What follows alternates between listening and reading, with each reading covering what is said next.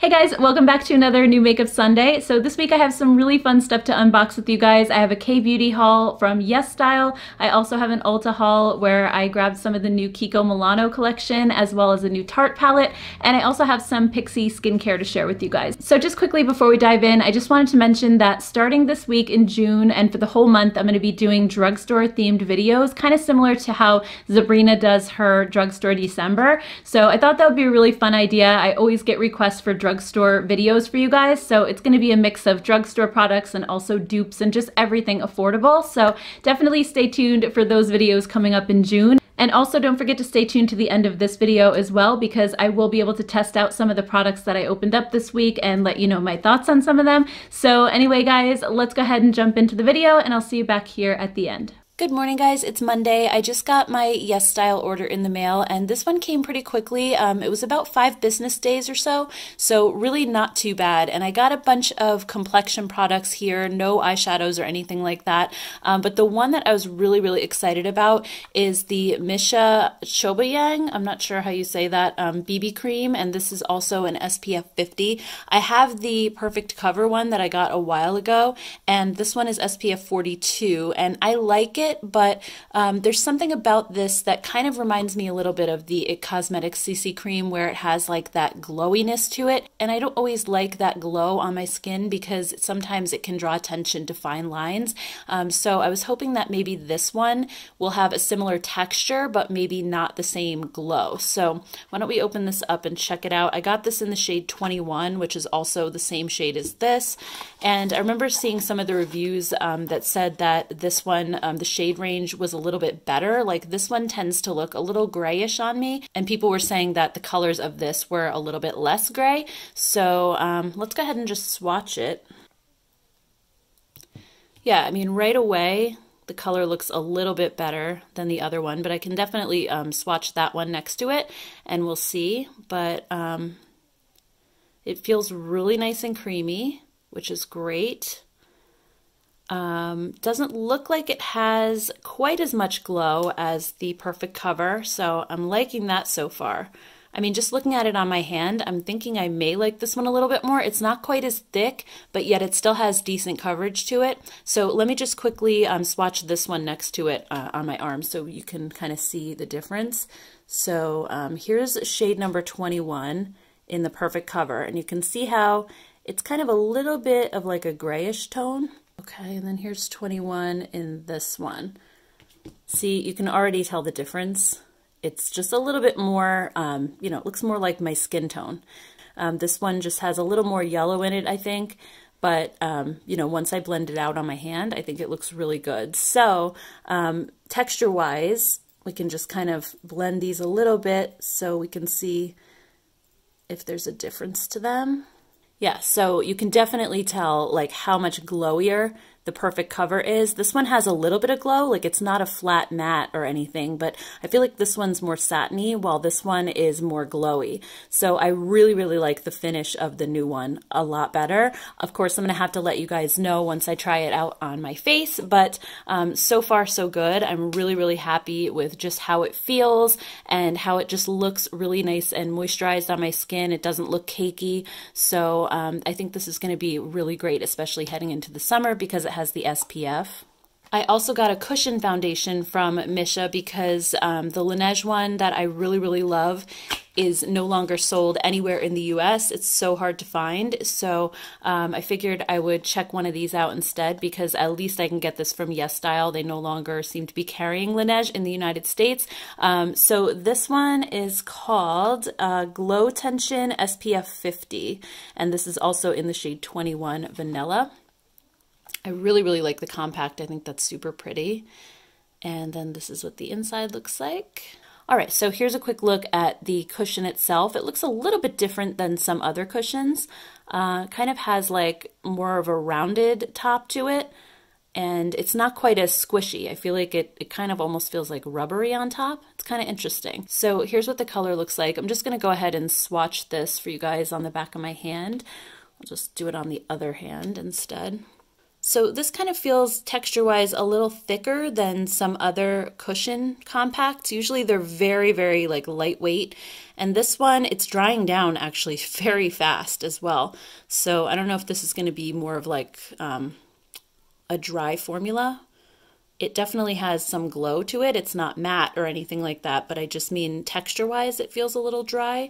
So hopefully this is going to look okay on my skin. We shall see. Usually cushion foundations are great like for my dry skin, but I don't know. This one feels a little drier than most. So I will hopefully be able to give you guys an update at the end of the video and let you know um, how that one wore as well. And then I also got two different concealers that were very highly rated. This one's from A'Pieu, which uh, makes those Waterlight tint lipsticks that I really, really love. And this is their Moist Creamy Concealer. And so many people say that this is a dupe for the NARS Radiant Creamy Concealer. So very excited to try this one out. I got this one in the shade Porcelain. And then this one is the tip concealer from, I don't know how to say this brand, the, the I don't know if what it is, the Siam I don't know. It's S A E M. So, anyway, this one is in the shade 1.5. And this actually has SPF 28 in it as well, which you don't normally see in a concealer. That's kind of cool. So, why don't we swatch this one first? I have tried the NARS concealer, so I'm very interested to see how this one compares to that. So here's what the color looks like. It's a little darker than I was expecting a porcelain shade to be, but um, it, oh wow, yeah, this feels very similar to the NARS. It's super creamy, just blends like effortlessly, and uh, it's thin, but yet seems like it has really good coverage at the same time. So Oh, I'm excited about this one. The texture just feels amazing. It feels really, really hydrating, um, which is a good thing. So I will let you guys know about that one. And then here's the uh, tip concealer. Let's just put it over here, I guess, on this side. Yeah, this one's also slightly darker than I was expecting, um, but not too, too bad. This one feels slightly thicker than the other one. Um, definitely has better coverage. Not that this one had bad coverage. I would say that um, this one has probably like a medium, and this one is more like a full coverage concealer, which I don't always reach for because usually they tend to be really thick and cakey looking. But this one, I mean, I like how it's blending in. It looks really natural and it feels incredibly moisturizing too. So, um, and again, this is my hand, which is a lot drier than my face. So yeah, very excited about these two options and hopefully we'll have some feedback for you guys by the end of the video. And then the last thing I got were two more of these Holika Holika Jelly Dough Blushes. I love these. I got um, the original one, I think was apricot jelly, and this time I got nuts jelly, which looked like more of like a nude shade, and then grapefruit jelly, which had a little more pink to it. So let me just swatch these for you guys really quick. So if you missed my last video on K-Beauty, these just have like basically a putty-like texture. They're a little firmer than like the ColourPop Super Shocks. They're not quite as like movable as those, but they last all day on the cheeks. They're absolutely amazing. So here's the grapefruit one. I really love this color. That's so pretty. And then here's Nuts Jelly, which I think I'm really going to love this one too because I love a nude blush. So there's Nuts Jelly. Yeah, that's gorgeous. And then just for comparison's sake, I'll show you my apricot jelly that I got before.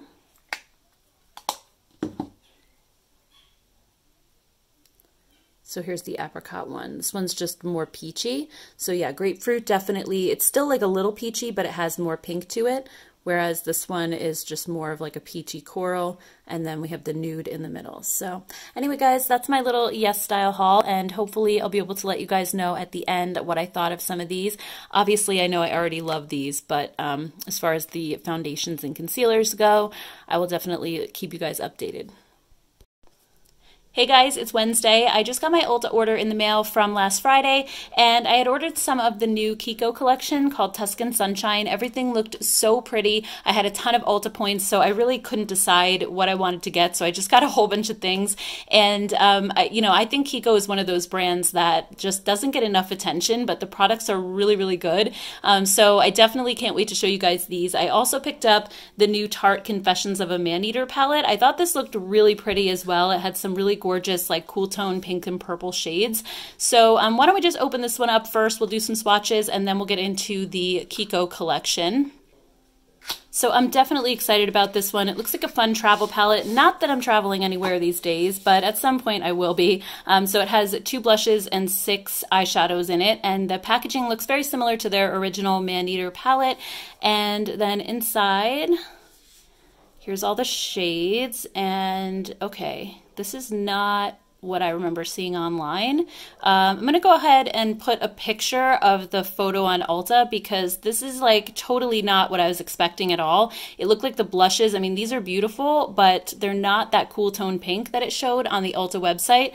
And uh, also, these eyeshadows, like, they just don't have the same sort of vibe.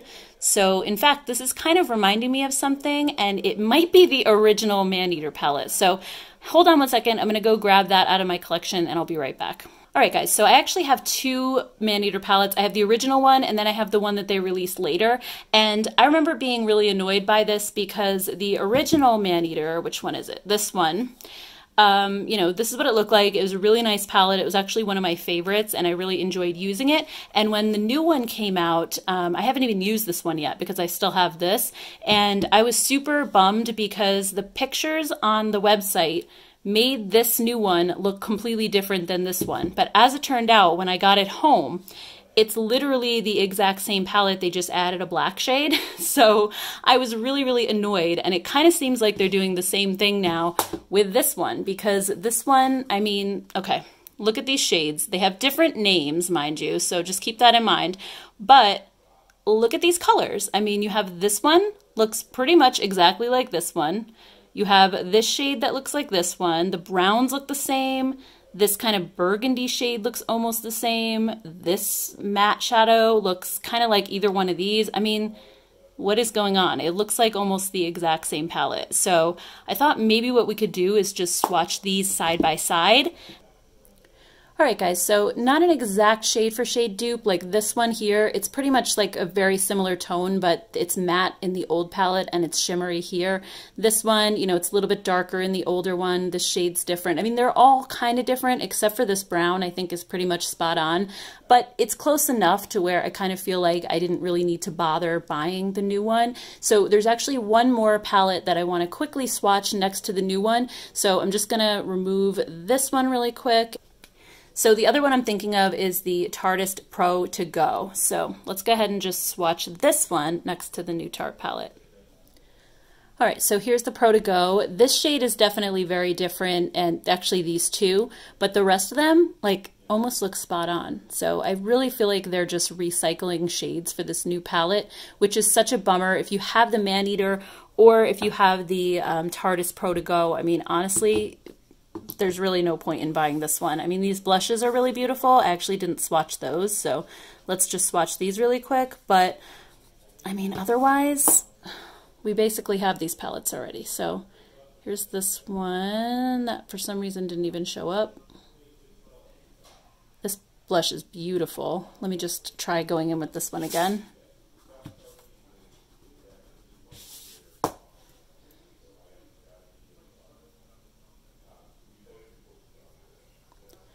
So that one's almost more like a highlight. It's really, really shimmery, or maybe a blush topper. So anyway, I mean, like I said, it's a pretty palette, but it's so similar to things that I already have from Tarte. I feel like I kind of wasted my money here, so I'm a little bit bummed with this. All right, so let's check out this Kiko collection. I am so excited with this one. So let's start with the foundation. This is the Tuscan Sunshine Luminous Foundation. I got it in shade 2. It didn't have the best shade range in the world, but, um, you know, it's probably a limited edition collection, as most of theirs are, so you know, I don't expect it to hang around all that long. Um, so here's a look at the tube. It's really pretty. I just love the packaging. And this actually feels very, very liquidy. Like when I shake it. Can you guys hear that? So anyway, let's go ahead and try to see what this is like. Yeah, so it's really runny. It's like a serum foundation. It has that same sort of tip um, as the Flower Beauty blush bombs do. Oh yeah, this is so thin. It's really like a serum texture, which is nice. I mean, it's great for summer. It's very lightweight. And it says luminous, but I'm not really detecting any kind of shimmer in the formula. I mean, it looks like glowy on my skin. It doesn't look, um, you know, matte, but I would say it's kind of more of a satiny type of finish. It blends right in and disappears. I don't know what kind of coverage this is necessarily going to have. I mean, it definitely has some because it canceled out like the redness that's naturally in my skin. But honestly, it's not a big deal. I tend to prefer a light coverage foundation and then just spot conceal where I need to. So I'm actually very excited to try this one out. All right, so next up we have the Tuscan Sunshine Face Palette and this one looked really pretty as well. I mainly got it for the blushes because I don't wear highlighters all that much, but I feel like I could also use these as eyeshadows because they're just so gorgeous. So let's go ahead and swatch these really quick. Just want to see what the shades look like.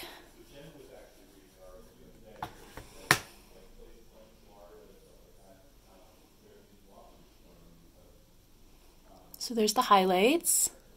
Then the blushes, this one's a matte, and then this one has maybe like just a slight bit of shimmer to it, but not too much. That's beautiful. It's very subtle, but it's gorgeous. And then there's the shimmery blush, which I think could be just a really pretty topper on top of this one as well. So that's the face palette. Next up, I got the Tuscan Sunshine Blush, and this one's in the shade Tuscan Iris. They had a couple different versions, and I think this one was like a split pan, so let's just see. Yeah, so it's not like a traditional split pan, but it's kind of like an ombre effect, and this one looked like a little bit more on the nude side. I think the other one was pink, so let me just swatch these really quick. I'll just do each side and then kind of swirl them together. So it looks like it's kind of not matte exactly, but not shimmery either. It's kind of more of a satin. So here are the two sides separately, and then we'll just kind of swirl it all together. Yeah, so that just results in a really beautiful kind of light peach shade. So really beautiful as well. I also got one of the eyeshadow palettes. There's two different versions. I got this one, which is called Tuscan Escape, and this one looked a little bit more on the cool tone side. The other one was a little bit warmer. They were both really pretty. It was so hard to decide, um, but it's a little bit more of a smaller palette. I kind of like it though. Um, inside, we have the shades. So these are actually good size pans, even though it's a small palette. I feel like they're not, you know, teeny tiny little pans. So um, this looks pretty much like it did on the website. I kind of feel like this one online looked a little bit deeper and I'm kind of disappointed that it looks so pale because I was hoping for like a really nice mid-tone shade. But I guess we'll see how it swatches out. So let's go ahead and just swatch these really quick. So I'm just going to quickly swatch these on my hand.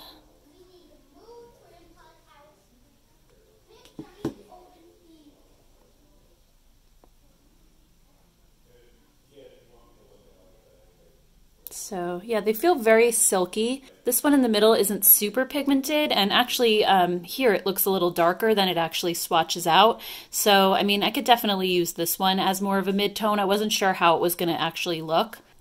And these shimmer shades feel very buttery, which is a good thing. Wow, that's very foiled and metallic. Look at those. Those are beautiful. And then here's the last one right there. That one actually has really nice pigmentation for being such a light shade. I wasn't expecting that. So anyway, this palette looks really pretty. I'll definitely let you guys know as I have a chance to try it out this week. And then the last product I got is the Tuscan Sunshine Shiny Lip Stylo. So I feel like they come out with different shades of this particular product with almost every collection they do. I don't know if they have some that are part of the permanent line, but I know I really love this formula. They're kind of like a shiny lipstick or almost like a lipstick lip balm hybrid. So the shade that I got is 01. So let me just swatch it maybe like over here. These are just like the most comfortable lip product ever. Look at how gorgeous that color is. Oh my gosh. That is stunning. It's like a perfect pinky mauve shade. And sometimes I feel like mauves or mauves, like they can go a little bit too deep, but this one is just perfect. Like, look at how pretty that is. Wow. All right, so very excited about this whole collection. I'd love to hear your thoughts down in the comments below. Hey guys, it's Thursday. I just got a package from Pixi Beauty and they sent over some skincare in this really, really cute travel bag. And this is their retinol line actually, and I've really been wanting to try this for a long time now. It's retinol and jasmine. So on this little tag here, it says, Dear Jen, time to get your dream skin. Our new retinol and jasmine infused skin treats will take you on a smooth journey to your most beautiful skin. Thank you for all your Pixi love. So let's go ahead and check out the information. Okay, so this is just the collection and a little uh, routine that you can do. So you have the retinol jasmine cleanser. Step two would be to tone with the retinol tonic. Step three is to treat with the jasmine oil blend um, in the AM and then PM the overnight retinol oil. Um, step four is to moisturize with the retinol jasmine lotion and then nourish with the retinol eye cream. So, what I love about all of these is that they have the time release retinol, and I usually do the best with that because it's not rushing into your skin all at once. It kind of releases the retinol over time and it just helps to minimize the irritation, I feel like. So, even the toner has that. That's really nice. So, um, let's go ahead and open some of these up and check them out. I love the packaging too. I always love their mint green, but with the purple, I think it looks really pretty. So this is the Retinol Jasmine Cleanser. It says it's a creamy moisturizing cleanser enriched with vitamin A, retinol, antioxidants, and ceramides, and it removes impurities for smoother, more radiant looking skin. So I'll just quickly show you guys the ingredient list in case you want to pause the video. And I'll just squeeze a little bit of this on the back of my hand. I'm just curious about the texture. So it looks like a lotion. Obviously, I would have to add water to this, but it feels very emollient, very creamy. I think it's going to be nice for my dry skin. So I'm going to go ahead and add some water and I'll be right back. So I just added some water to see if it would foam up and it really doesn't. I mean, it, it emulsifies a little bit, but it's definitely not one of those foaming cleansers that's going to strip your skin. It just feels really nice. It almost feels like I'm moisturizing my skin at the same time. So I'll have to test this out and see how it removes makeup. Next up, we have the toner. This has the time release retinol, elderflower to soften and brighten your skin, and chamomile to calm and minimize redness. So, just going to put a little bit of this on the back of my hand. And it just feels like a basic toner. It's watery, there's no stinging or anything like that. It's really, really gentle. And let me just show you guys the ingredient list on the back of the bottle. It does have a jasmine scent to it, which I'm guessing is from the um, jasmine flower and leaf extract. Next up, we have the jasmine oil blend. This is the one that they recommend in the AM, and this has jasmine flower extract to rejuvenate and calm, evening primrose to help boost circulation, and grapeseed oil to nourish the skin. Just see what the oil feels like. Yeah, I would say it's like a medium weight oil. It's not super lightweight, so I think, again, this is going to be best for drier skin types. It definitely feels very emollient and hydrating. It doesn't feel like some of those dry oils that you see sometimes. It's There's some weight to it for sure. I feel like my dry skin's probably going to love it, and it has that um, jasmine scent as well, so I'll quickly show you guys the ingredients. Next up, we have the overnight retinol oil. So this one didn't have the retinol in it. This one's for morning time. And then this one you can use at night. So it has the time release retinol to smooth and refine, peptides also to firm and revitalize, and then ceramides to lock in moisture. So this is really packed with a bunch of good stuff. So I'm just going to put it over here so I don't mix it with the other oil. This one actually feels a lot more lightweight. And I'm guessing because you probably would layer it with a moisturizer so they didn't want it to be super heavy. So yeah, this one feels a little bit more like a dry oil type texture and it's sinking in a lot faster than this one did. So here's a quick look at the ingredient list on this one as well. Next up is the Retinol Jasmine Lotion. So this one says it has retinol again to smooth and refine. It has peptides to firm and revitalize and jasmine oil to nourish and brighten. So I love that this has the combo of peptides and retinol. I feel like it's a really good one-two punch.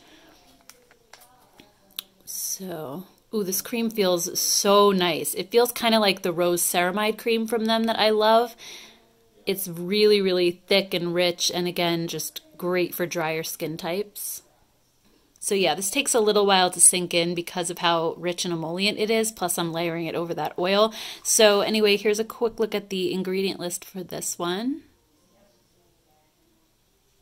And then last but not least, we have the Retinol Eye Cream. So again, this one has the time-release retinol to smooth and refine. It has caffeine to depuff and energize, and then it has peptides to firm and revitalize. So I'll just put a little bit of this right here.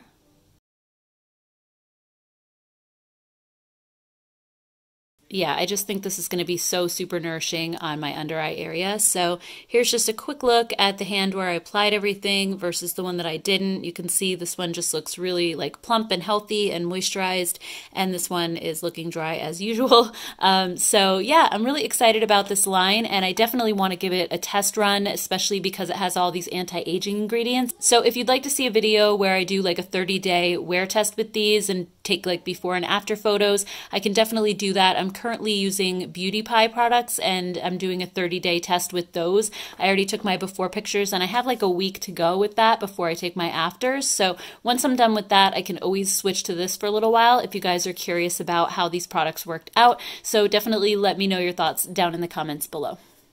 Alright guys, so that's all I have, but just a few quick thoughts on some of the products I got a chance to try out this week. So first up is the Missha BB Cream. This is the Chobo Yang one, and I love this so much better than the Perfect Cover. I'm not saying that one is bad, and it's really universally loved by so many people here on YouTube. I actually ended up purchasing it because of Jessica Braun, because I know she really loves that one. And it's not that I don't like that one, but I like this one even more just because it doesn't have that glowiness to it that just draws attention to fine lines and pores. So it has a very similar texture, but I do feel like this one is a little bit lighter, not quite as emollient, so it doesn't feel sticky on my skin like that one can tend to do. But I feel like this one has the exact same level of coverage. I also like the color a little bit more. So the few things that I didn't like about the other one, I feel like this one completely solves those for me. So I think this is definitely a step up from that one. And if you've had the same issues that I have with that, I would definitely give this one a try because it is like the perfect foundation. And speaking of amazing foundations, this Luminous foundation from Kiko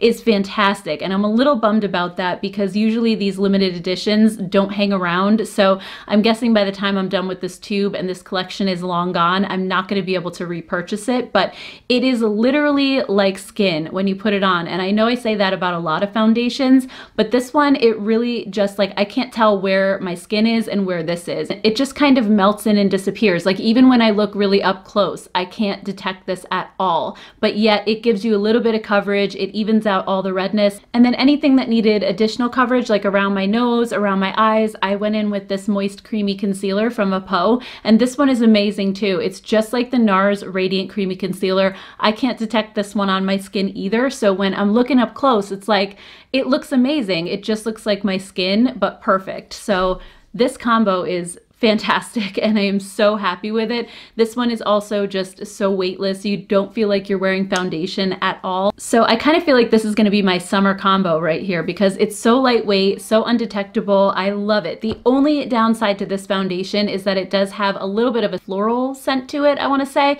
So if you don't like scented foundations, you're probably not going to like this. But if you can get past that scent, and I honestly can't smell it at all, once I put it on, it kind of completely disappears. But if you don't like putting fragrance fragrance on your skin, which a lot of people don't, then you're probably not gonna like this one.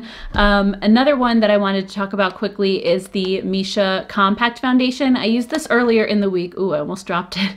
Um, I used this earlier in the week and I have to say, like, it did look a little bit dry and cakey on my skin. So I was kind of bummed about that because most cushion foundations look really, really natural and I do prefer the Laneige one to this. I mean, it didn't look awful, but it's not my favorite. So I'm still on the hunt for my favorite cushion foundation. And then on my cheeks today, I'm wearing the Tuscan Iris blush from Kiko. And this one was the one with the split pan. And honestly, when I swatched it on my hand, it didn't really look like it was that pigmented. But when I dip my brush into this, holy cow, it is really, really pigmented. I mean, I don't know if my lights are washing it out, I actually had to kind of shear it out a little bit because my brush picked up so much and it just went on really heavy. So if you're gonna get this, I would say definitely use it sparingly, but it was so blendable and really, really seamless. So I enjoy that one too. And then on my eyes, I'm wearing the Kiko eyeshadow palette in Tuscan Escape. So I ended up using this one for a crease color and it really is very subtle. It's a little bit lighter than it looks in the pan. And then I used this one to deepen the outer corner and I used this kind of silvery one on my And I mean, the shimmer shades are particularly impressive. The matte shades also surprised me. They didn't swatch the best, but um, they have almost no fallout. They have that really rich velvety feel almost like a Natasha Denona shadow, so they're not like those super powdery ones that just blend away, which I really, really liked a lot. So I do really enjoy the formula of this one. I think it's a little bit limited in the eye looks that you can get out of it, but otherwise I really thought that the formula was amazing.